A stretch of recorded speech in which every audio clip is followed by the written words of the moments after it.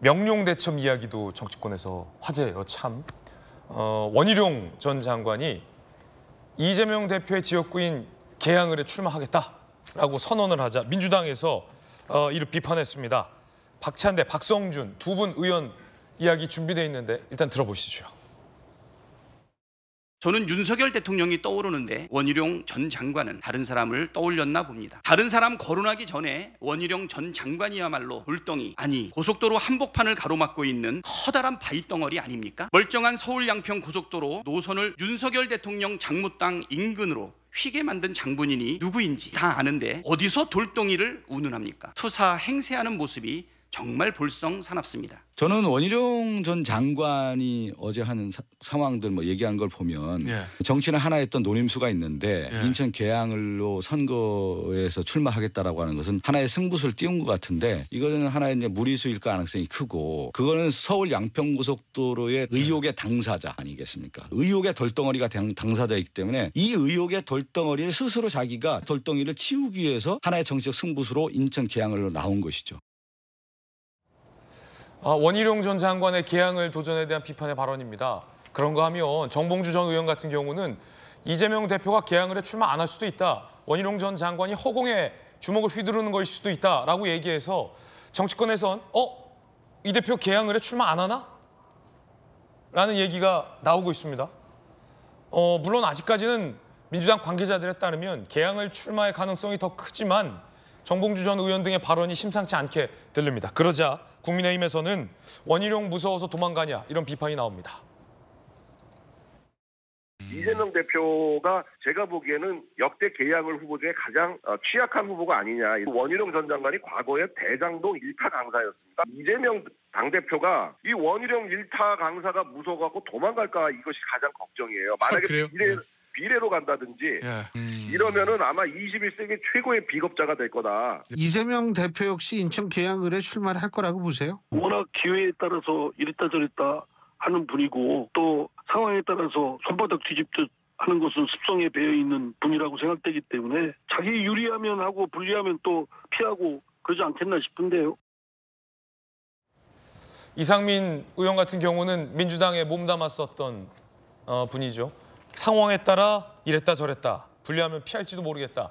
국민의힘 내부에서 이 대표가 피하는 거 아니냐 이런 얘기도 나오고 있습니다. 성치훈 정치기 부의장님 일단 예측이 잘 안 되는 정치인 중에 한명 있는 건 맞습니다. 여야 모두의 얘기를 들어보면 그렇죠. 네. 어 그렇죠라고도 말씀하셨는데 이재명 대표가 개항을 해 출마합니까? 원희룡 전 장관과의 승부를 피합니까? 안 피합니까? 어떻게 어, 예상하십니까? 다 열어놓고 논의를 해야 된다고 생각합니다. 하지만 출마를 안 한다 하더라도 원희룡 전 장관이 무서워서 안 한다라는 건 전 인정할 수 없고요. 음. 저는 일단 원희룡 전 장관이 무슨 염치로 개항을 해 출마하겠다고 하는지 모르겠습니다. 네. 저는 원희룡 전 장관의 부적절한 출마라는 걸 먼저 얘기하고 싶은 게 양평 고속도로 이거 이외에도 저는 그 전세 사기 피해를 얘기하고 싶은데요. 전세 사기 피해자가 가장 많은 지역 중 하나가 인천입니다. 저는 전세 사기 피해의 주무부처 장관으로서 그 피해자들에 대한 구제 대책을 제대로 세우지 않았던 게 원희룡 전 장관이거든요. 그 피해자들이 자살하고 얼마- 얼마나 고통 속에 살고 있을 때 그거에 대해서는 구제 대책에 대해서는 사인간 거래에 의한 거기 때문에 국가는 뭘 해줄 수 없다라는 식으로 선을 그어버렸거든요. 저는 그런 무책임한 장관의 태도로 임했던 사람이 인천 지역에 나와서 표를 요구한다. 저는 그것부터가 부적절하다고 보고요. 두 번째로는 이재명 대표 지금 원희룡 전 장관의 이야기는 개항을이 아니더라도 이재명 대표가 어디로도 가면 따라가겠다 이런 느낌이거든요. 그건 그것도 부적절하다고 봅니다. 왜냐하면 원희룡 전 장관은 그 2022년 대선 경선 당시 그 당시 원희룡 후보의 그 부인께서 이재명 후보에게 소시오패스라는 부적절한 발언을 해서 논란이 됐었거든요. 그것까 그거에 대해서 끝까지 사과를 안 했습니다. 어, 와이프 그 아내의 편을 들어줘야 된다라고 하면서 끝까지 사과를 안 했거든요. 그 말은 뭐냐? 이재명 대표가 가는 곳에 원희룡 전 장관을 공천하겠다라고 하는 한동훈 비대위원장의 에, 비상 비대위원장의 이야기는 이거 혐오 정치 조장하겠다는 이야기랑 마- 전 마찬가지라고 생각합니다. 그리고 마지막으로 한 가지 더 붙이면 그 지역의 개항을에는 윤영선이라는 국민의힘 후보가 또 있습니다. 예. 수십 년 동안 그 지역을 달고 닦았고 재보궐선거 때도 어, 그 이재명 대표와 어, 만만치 않은 경쟁을 보이는 분인데 그런 분을 배제하고 원희룡 전 장관의 욕심 때문에 출마한다는 것이 저는 매우 부적절하다고 봅니다. 네. 그래서 저는 이재명 대표의 출마를 다 열어놓고 개항을로 일단 어, 1순위로 보고 있지만 저는 계속해서 이재명 대표가 불출마든 다른 지역 출마든 다 열어놓고 이야기해야 된다. 당의 전체적인 전략 하에서 이야기해야 된다.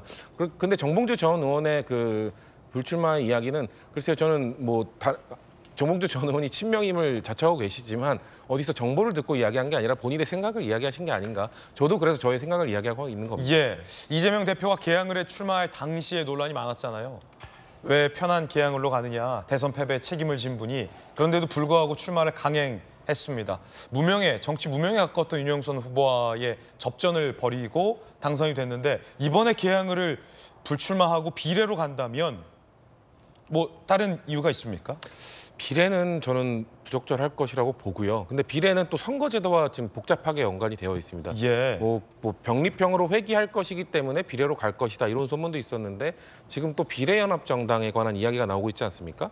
근데 비례연합정당으로 갈 경우에는 어, 거기에서 의석을 차지하기 위해서는 탈당을 해야 됩니다. 뭔가 그 위성정당, 사실상의 위성정당으로 당적을 옮겨야 되는 상황이죠. 당 대표가 그럴 수는 없지 않습니까?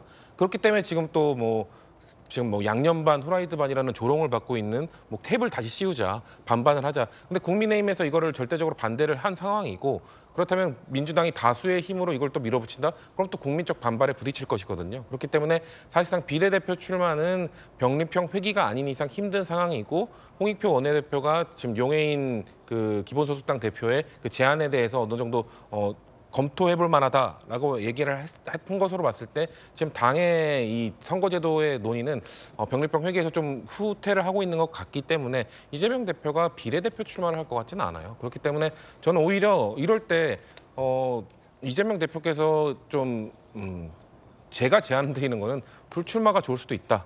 왜냐하면 원희룡 장관 때문에 도망가는 거다라는 거는 어, 저는 여론조사 한 번 나오면 충분히 어, 해소할 수 있다고 알겠습니다. 봅니다. 예. 이 대표에게 의원 배지가 상당히 중요할 텐데 과연 불출마를 할 것인가와 관련된 질문은 참겠습니다. 진수 의원님, 이재명 대표가 개항을 해 출마하리라 보십니까? 아니 저는 이재명 대표가 지금 뭐 출마냐 불출마냐 출마하면 비례냐 뭐냐 이거 고민하고 계셨을 텐데 이제 어제부로 개항을의 그 출마가 불가피해졌다. 안 나올 수 없게 됐다. 안 나올 수 없게 됐다 그런 그 말씀을 드립니다. 우리 저 성추윤 부의장께서는 어 뭐 안 나오더라도 여론조사 한번 하면 끝난다 그랬는데 그게 그렇게 간단하지가 않고요. 결국 도망가는 거가 됩니다. 국민들 사이에 국민들 사이에는요 정치적인 이슈는 팩트가 중요한 게 아니고 어떻게 인식되느냐가 중요한 거거든요. 그렇기 때문에 이제 안 나올 도리가 없어졌다 이런 생각을 하고요. 어제 어젠가요 그저께군요. 그 원희룡 전 장관은 정말 개항에서 아주 드라마틱한 그 방식으로 출마 선언을 하신 거예요. 하셨고 사실은 한동훈 비대위원장이 당 대표 자격으로 포옹을 하면서 공천을 준 거나 마찬가지 그림이 되어 버렸어요.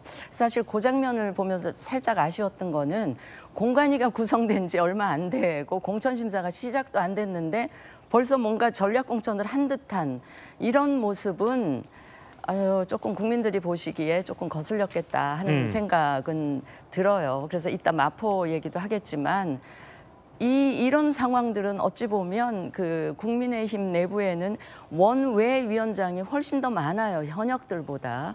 그러면 이 원외 위원장들은 거의 투명인간 취급받는 이런 예. 상황인데 저도 원외 위원장을 몇 년 한 입장에서 아, 어려운 상황에서 열심히 그 수도권에서 지역 관리하고 한 이 원외위원장을 사실은 굉장히 무시한 서사기 때문에 저거는 당에서 좀 잘 배려를. 그분들을 좀 배려를 해야 되지 않을까 싶고요. 일단 이제 원희룡 전 장관 출마부터 드라마틱한 방식으로 출마 선언을 하셨는데 저 지역은 우리한테 굉장히 어려운 지역입니다.